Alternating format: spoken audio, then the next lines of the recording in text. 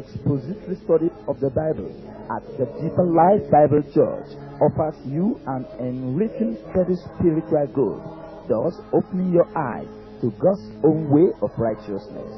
And best case, you will have the opportunity to listen to one such enriching Bible study. So prepare your heart to be blessed.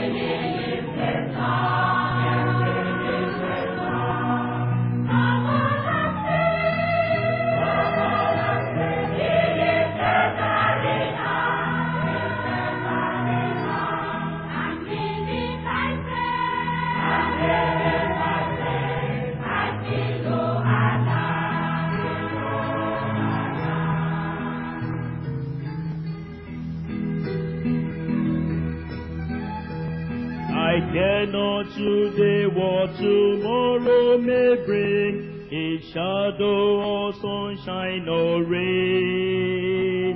The Lord I know ruleth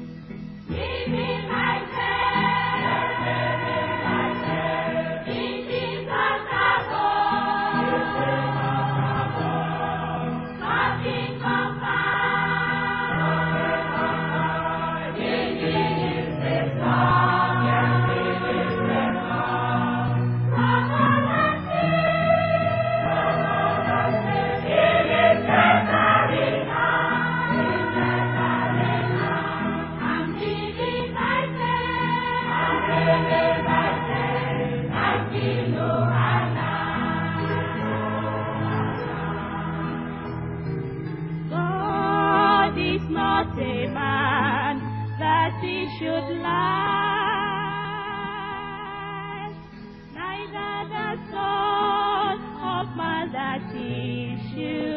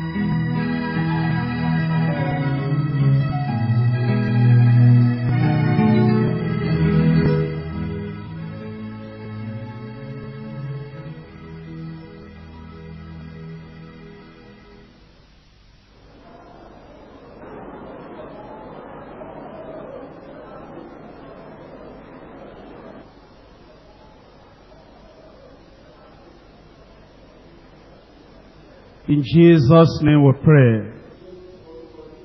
Our Father, we thank you for the challenge you've given us. That we as your children need to live by faith. And that when we walk by faith and live by faith, there is no alarm we're going to feel, we're going to fear. We know that you are not a man that you will lie. Neither the son of man that you will repent.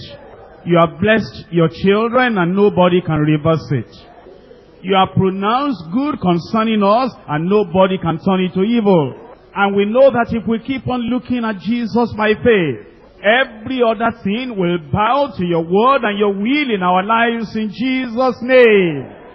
We are praying, oh Lord, that your word that enters into us tonight will strengthen our faith in Jesus' name. That it will drive away all our weaknesses. It will drive away all our fears. We pray, oh Lord, you bring every one of us back into the path of faith in Jesus' name.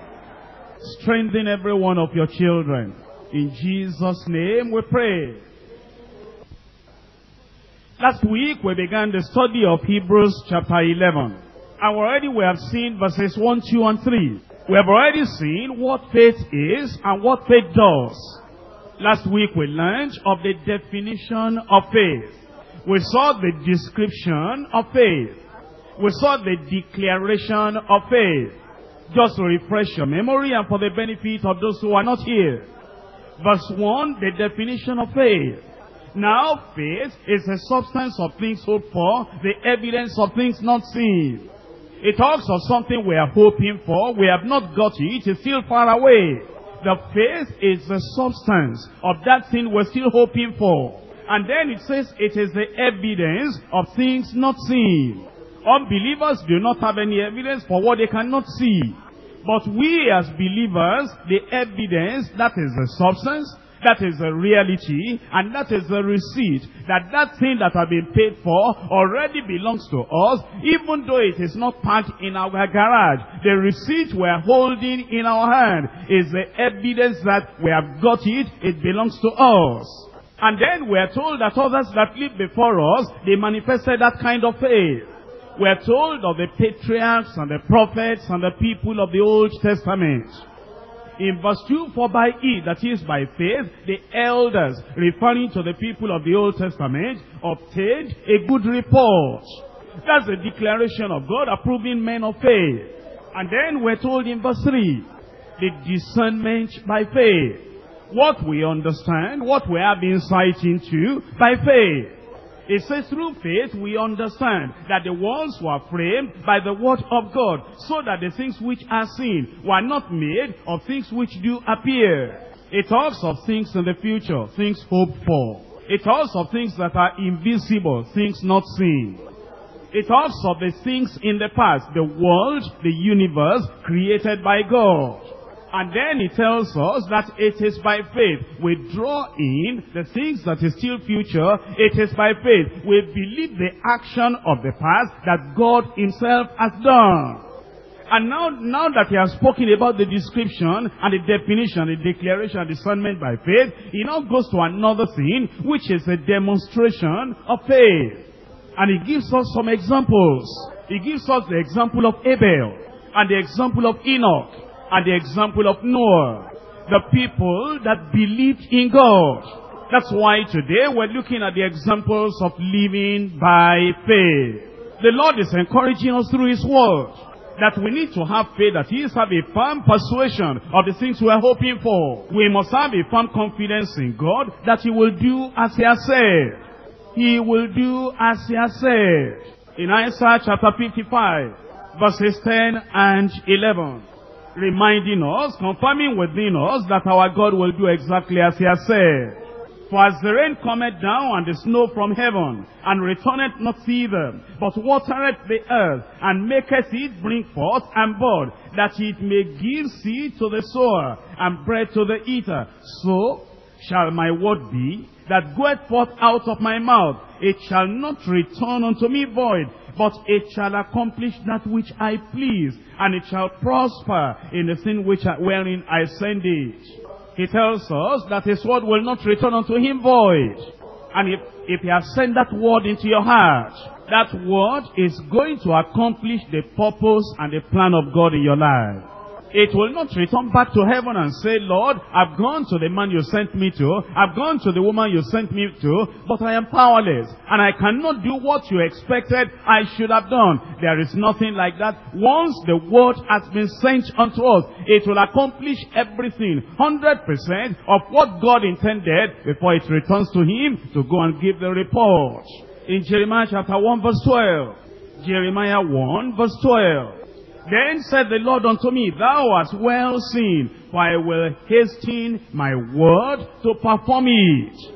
That is what gives the believer confidence that God will do as he has said. It is this kind of faith that permits the believer to rejoice in firm assurance while waiting for the accomplishment of the promise given by God.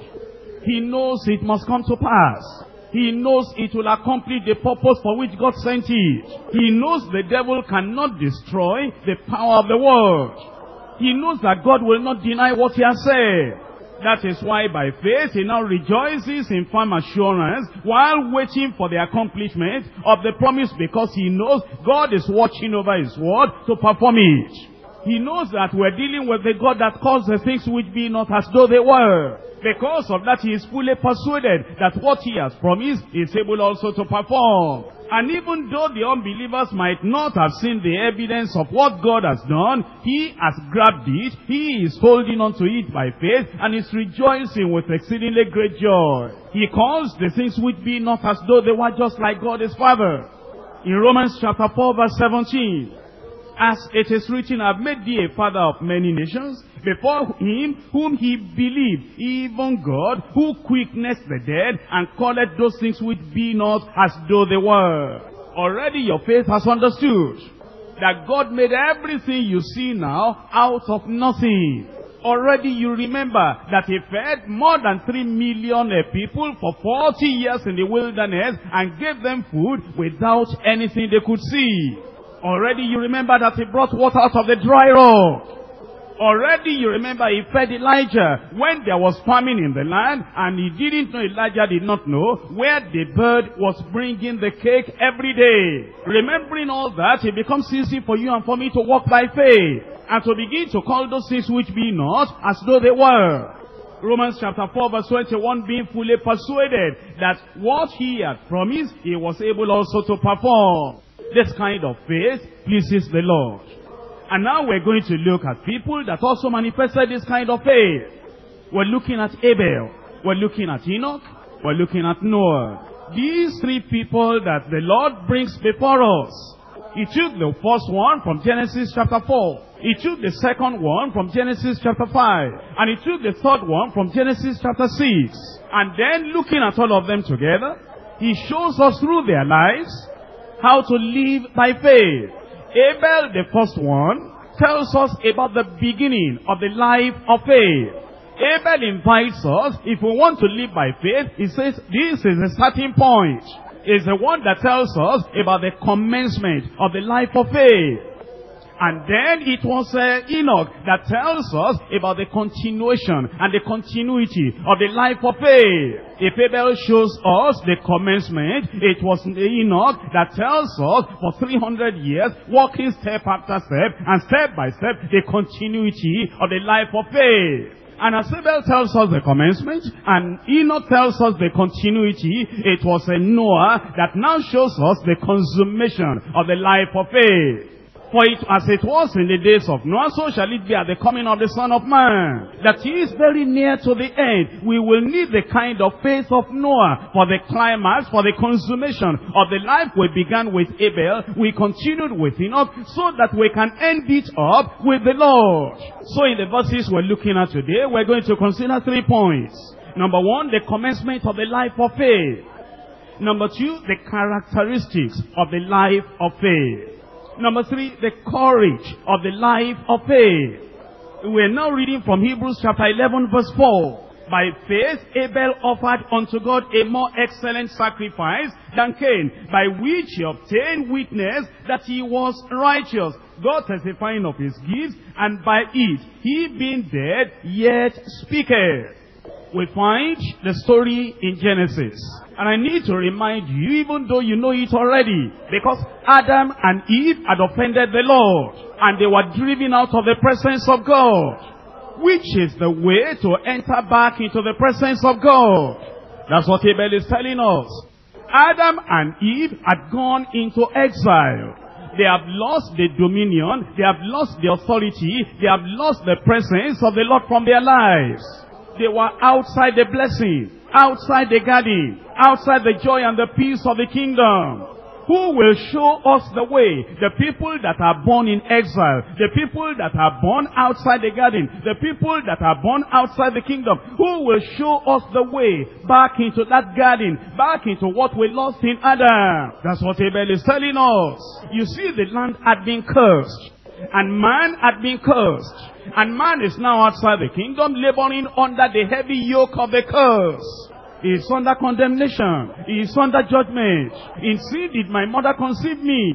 And in sin was I born. Who can bring a clean thing out of an unclean? No, not one. For all we, we have gone away. We are fading away. Our sins have separated us away from the Lord. Who will show us back to the grace of God? Bring us back into the favor of God. Who will bring us back into the presence of the Lord? Who will break the power of sin? How can we begin again? Ah, that's what Abel is teaching us. The beginning, the commencement of the life of faith. Look at it now in Genesis chapter 4. Reading from verse 1. And Adam knew Eve, his wife, and she conceived and bare Cain, and said, I've gotten a man from the Lord. But remember, he was born in exile, outside the grace of God, outside the kingdom of God, outside the garden. In verse 2, and she again bare his brother Abel, and Abel was a keeper of sheep, and Cain was a tiller of the ground. And again, remember that Abel was born under the curse. He was born in exile. He was born outside the garden. He was born outside the favor of God. In verse 3, in the process of time, it came to pass that Cain brought of the fruit of the ground an offering unto the Lord.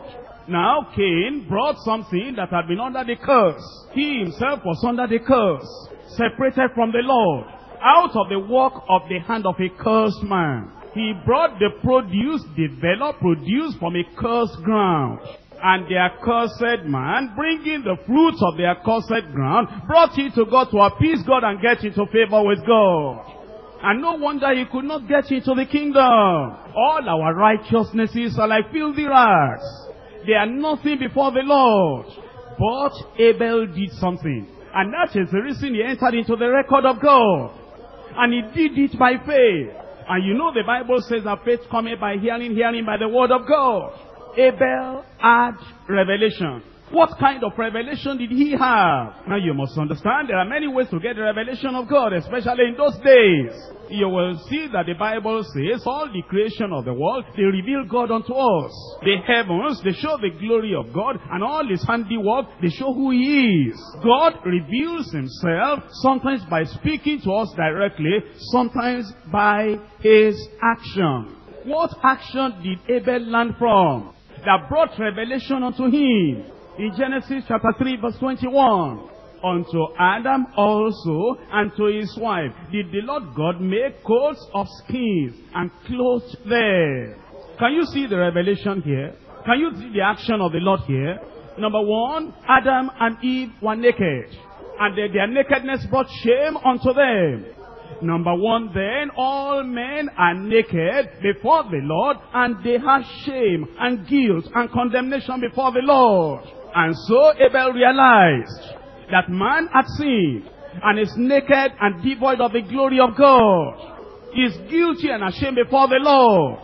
Then Abel realized another thing. Adam and Eve had made uh, something for themselves to cover themselves up. But the covering was not effective. All that man can do for himself in his own religion cannot cover him up in the sight of the Lord.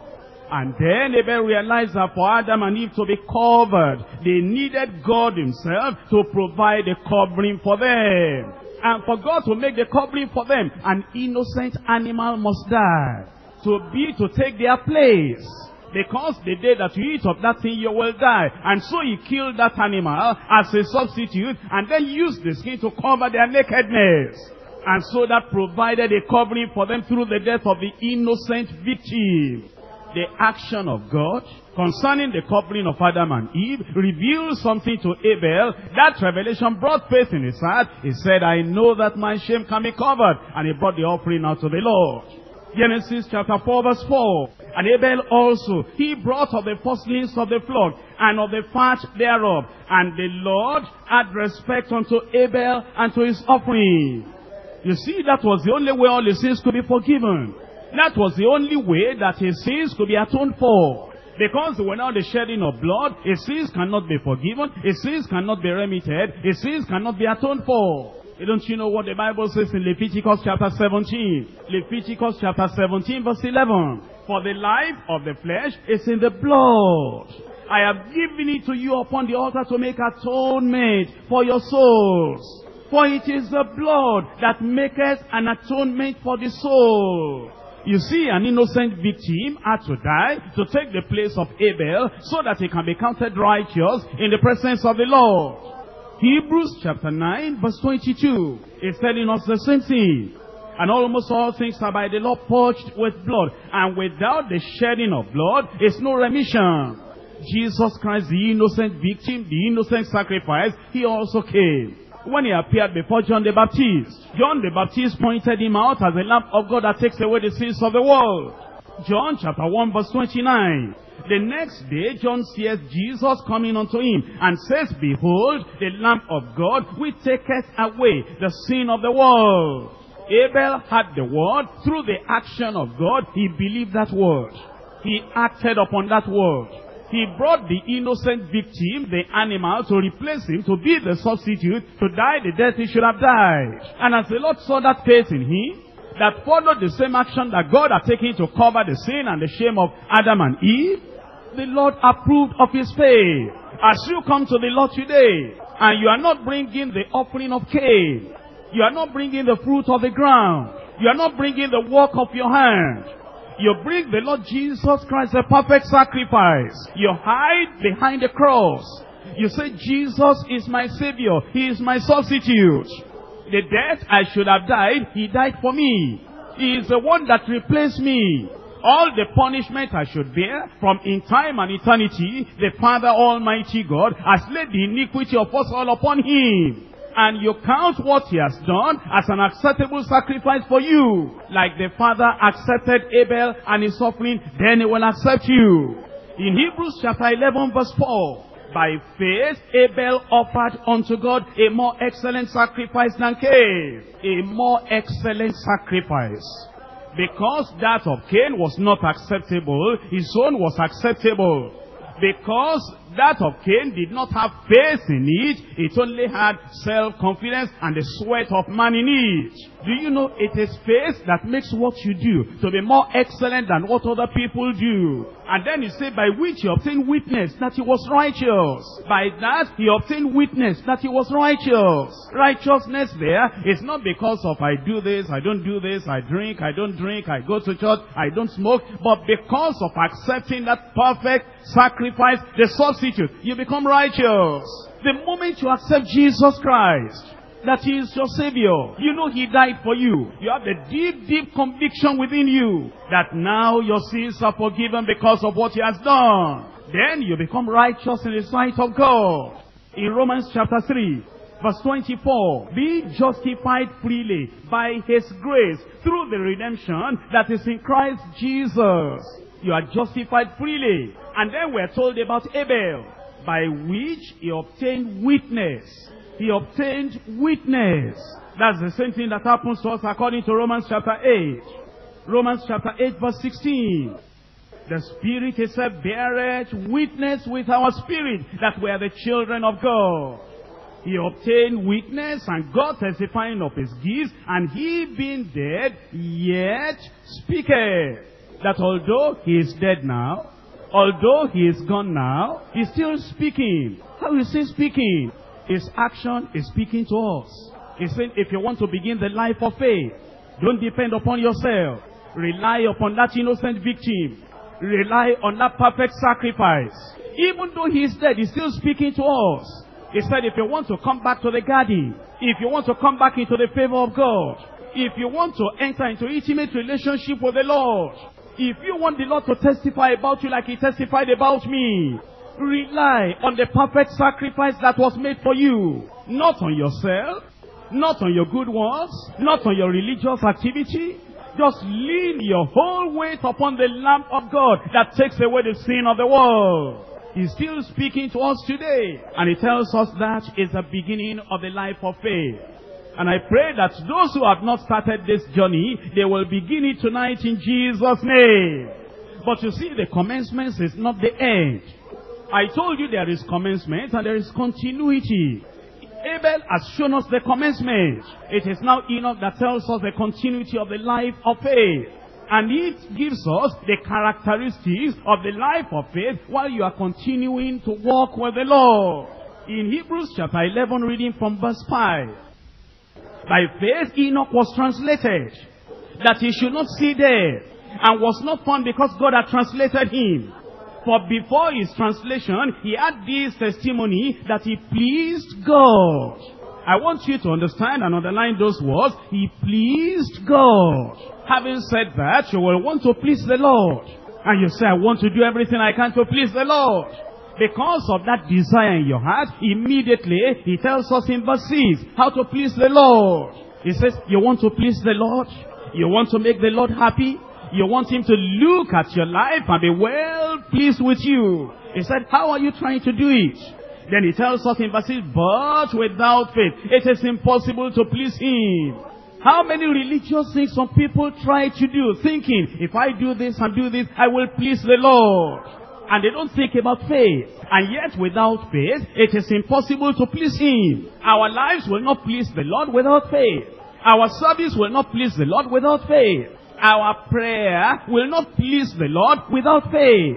Even our fasting will not please the Lord without faith. We may give our body to the bond and all that will not please the Lord without faith.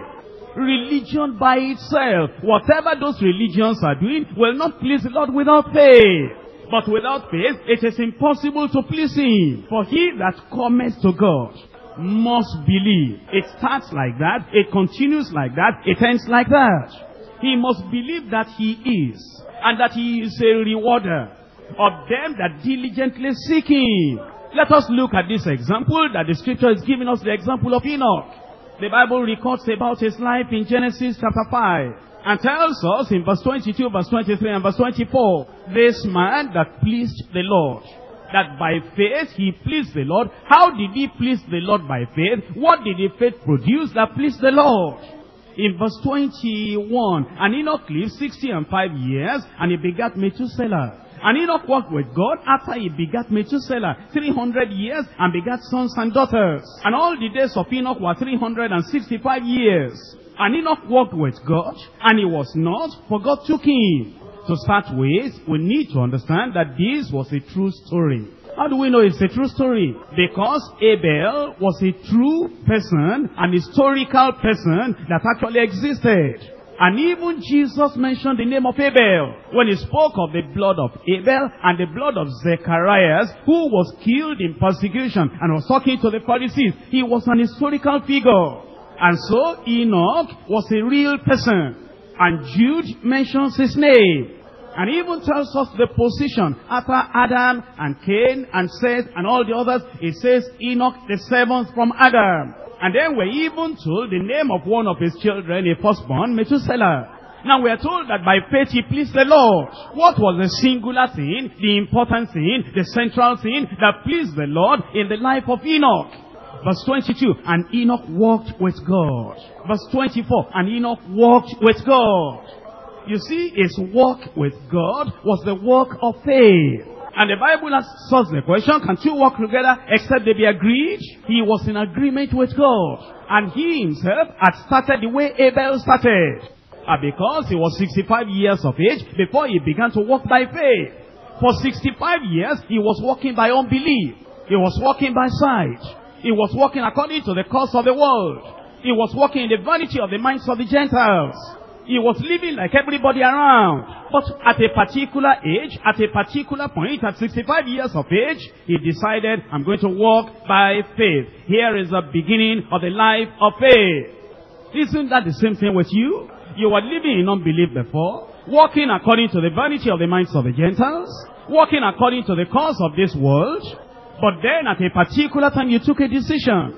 I'm going to stop. I'm going to start afresh. I'm going to begin a walk of faith. And you believed on the Lord Jesus Christ.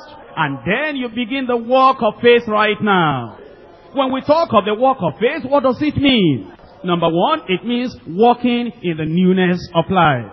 In Romans chapter 6, reading from verse 4.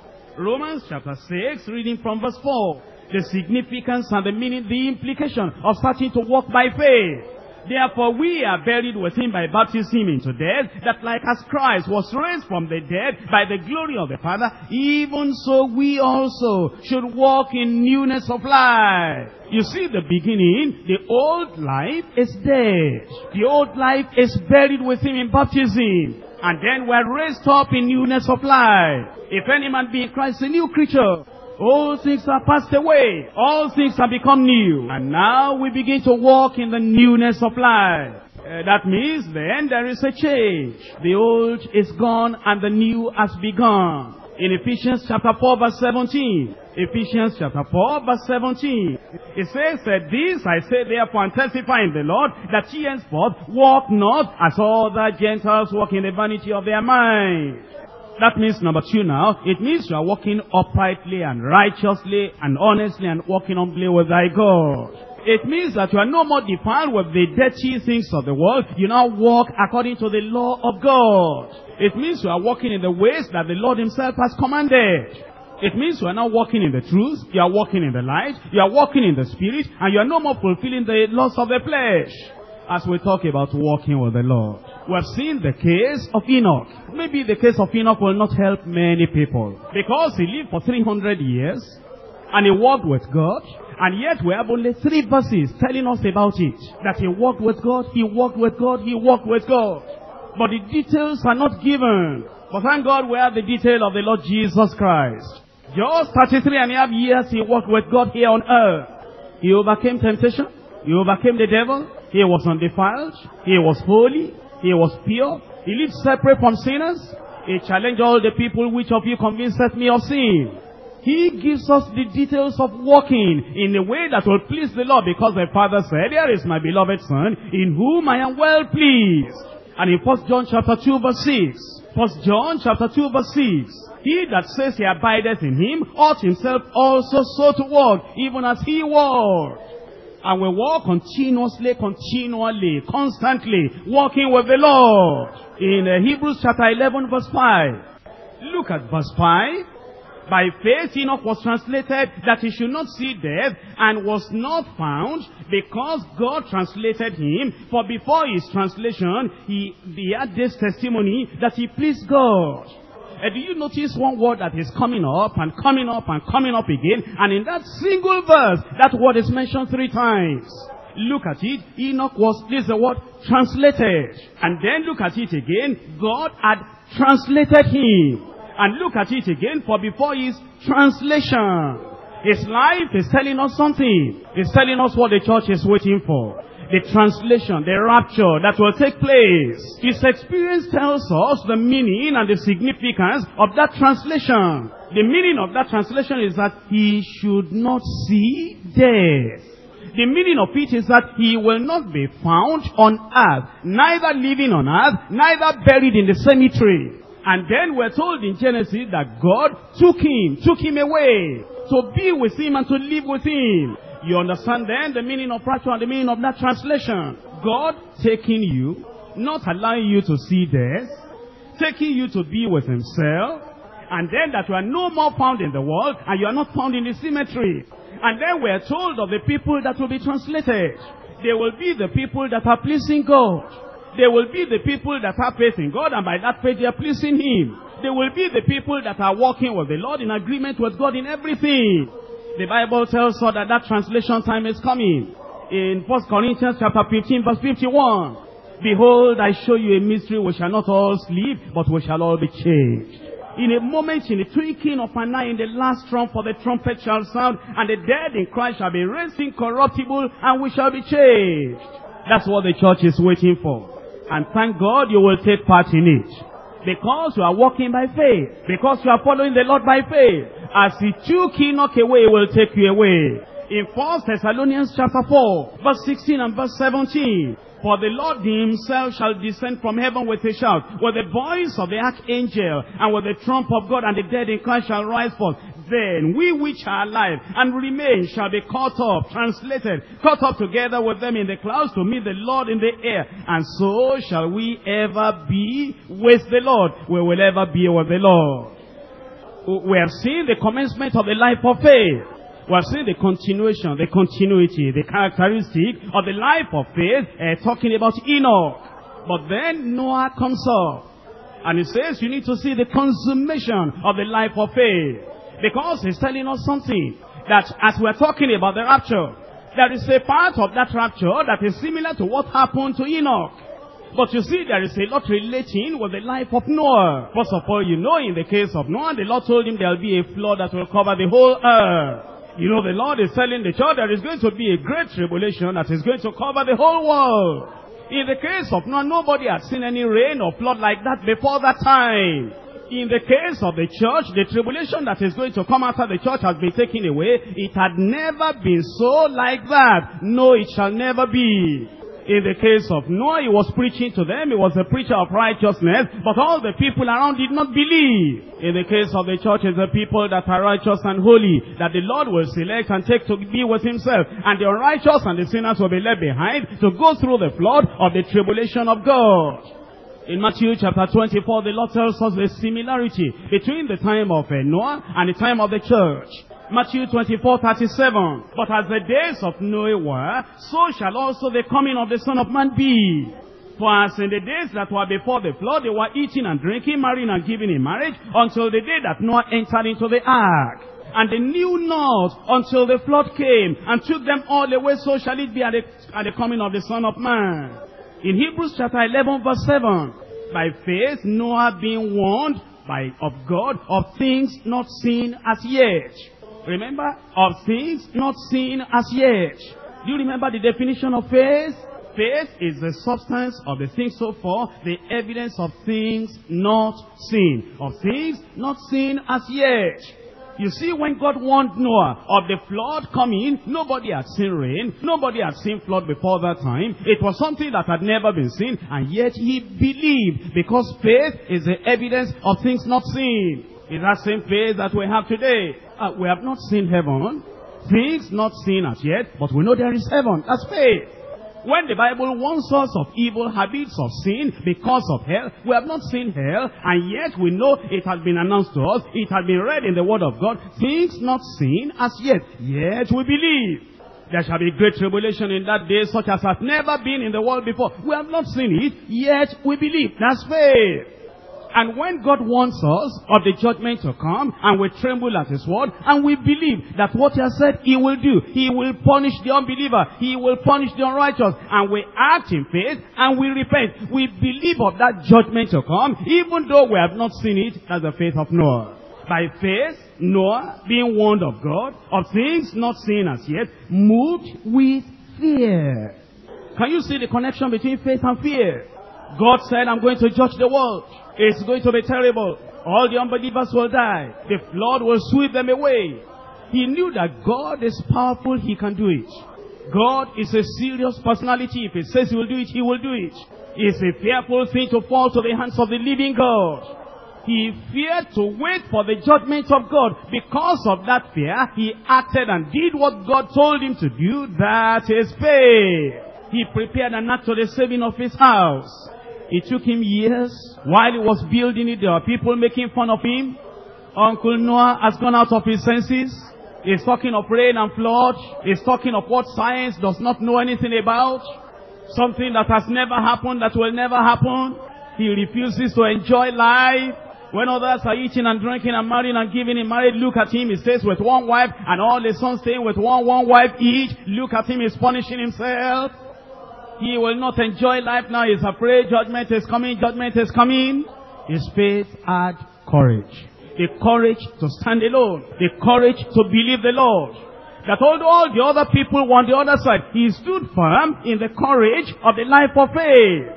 He didn't mind the ridicule the jesting, and all the things they were saying. And then we're told he built there for the saving of his house, by which he condemned the world. His faith condemned the unbelief of the world.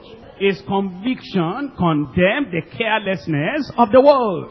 And he became the heir of uh, righteousness, which is by faith. As we know that the world is coming to an end. Do you believe that? That's the courage of faith. Because all your neighbors don't believe that. They don't believe that the world will come to an end. They think we're unreasonable. They feel that cannot be true. But thank God we have courage in our faith. There is conviction in our faith. We know that God has said it. And God will definitely do it. He escaped the judgment of God because he believed in God. Because we believe the word of God, we are going to escape the judgment. I said we're going to escape the judgment. And meanwhile, we should be living our life by faith. If you look at your outline, you'll see a lot of things on page 2 that faith does in our lives. Number one, it is by faith that the sinner is saved. It is by faith that you escape the judgment of God. Believe on the Lord Jesus Christ and thou shalt be saved. It is by faith. He that heareth my word and believeth on him that sent me will not come to condemnation. He will pass from judgment unto life. It is by faith we escape judgment. It is by faith that Christ will dwell in your heart. Christ in his glory and majesty. The moment you open your heart and you believe that Christ may dwell in your heart by faith, it is by faith we live. The life which I now live, I live by the faith of the Son of God, who loved me and gave himself for me. It is by faith we stand. Others may fall, you will stand by faith. The devil may throw many arrows, it will not get at you, you will stand by faith. He may try to tell you and uh, make some things uh, glitter before you, thinking that that is going to deceive you and you are going to fall for him. If you have faith in Lord, you will stand by faith. It is by faith we walk, even though I walk in the shadow of the valley of death. I will not fear any evil. Although this uh, the right hand side looks dangerous and the left hand side looks dangerous and the community looks dangerous, yet we are walking by faith and we are not going to fear any alarm. It is by faith we resist the devil and we resist him successfully and he's going to flee before us in Jesus' name. It's by faith we're sanctified. It's by faith we have access to God. It's by faith we quench all the fiery darts of the wicked one. And it is by faith we overcome the world and all the agents of the devil in the world. It's by faith that we're healed. By faith, faith in his name has made this man whole, whom ye see before you standing. The prayer of faith shall heal the sick. If he has committed sin, it shall be forgiven him. It is by faith mountains are removed. Because if you'll believe and doubt not, if you say to this mountain, be thou removed and be cast into the sea, it shall be so. If you will not doubt in your heart. It is by faith demons are cast out. This sign shall follow them that believe. In my name they shall cast out devils. And it is by faith we receive the Holy Spirit and the fullness of the Spirit of God. Where can we be without faith? What can we do without faith? What can we achieve without faith? How can we live the Christian life without faith? How can we overcome without faith? How can we stand without faith? How can we overcome the devil without faith? It is by faith we walk. It is by faith we overcome. It is by faith we're going to be raptured. It's by faith we're going to get to heaven. And Jesus asked a question, when the Son of Man shall come to the earth again, shall he find faith on the earth? He will find faith in your heart. He will find faith in your heart. And by that faith you will overcome from now till that time. And at that time by faith like Enoch will you go with the Lord. Let's rise up and demonstrate our faith before the Lord. You believe God. He will do as he has said. He said, whosoever cometh to me I will in no wise cast out. You believe that he will do as he has said. He said, I will never leave you, I will never forsake you. By faith you believe he will do as he has said. He said his will is for your sanctification. By faith you are sanctified. It is his will you are filled with the Holy Ghost. By faith you are filled to overflowing. And he said he will heal you if you are sick. By faith, you get that healing and you are made whole. He said you will cast out devils too. And it is by faith you do that. And you see what Abel has taught us? The commencement of a life of faith. And Abel is saying, he's speaking to you today. He's saying, come and start if you have not started. Believe on the Lord Jesus Christ and his perfect sacrifice if you have not done it already. Then the Almighty will bear witness with you that you are righteous. If you have started, then continue to walk with the Lord by faith. Walk with the Lord by faith. Walk in the newness of life. Walk uprightly. Walk in honesty. Walk in the truth. Walk in the light. Walk in the commandments of the Lord. Walk in the way of the Lord. Walk as Jesus Christ himself has walked. It is possible by faith it is possible by faith. And let there be the courage of faith in your life. Don't be afraid. Let there be the courage of faith in your life. Don't tremble before them. Let there be courage of faith in your life. Judgment is coming. You will escape judgment by the courage of faith in your life. The world is giving to marrying and giving in marriage, but let there be the courage of faith in your life and dare to be different. Keep on standing by faith. Hey, don't let the circumstances of life terrify you. Walk by faith. Don't let the arrows of the devil make you to shift your ground. Stand by faith. Don't let the temptation of the devil of the world make you to tremble. Stand firm in your faith. Don't let the example of unbelievers and backsliders make you to waver or make you to shake. Stand firm in your conviction in the courage of faith. You can overcome and you will overcome by the faith you have in the Lord. You have started by faith, continue in faith. Don't die by the wayside. Don't stop by the wayside. Continue until the very end, until the consummation of the life of faith. If you will believe the Lord, your life will be pleasing unto the Lord. For without faith it's impossible to please Him. For he that cometh to God must believe that He is and that is the reward of them that diligently seek Him. Keep on believing, and God will be glorified in your life.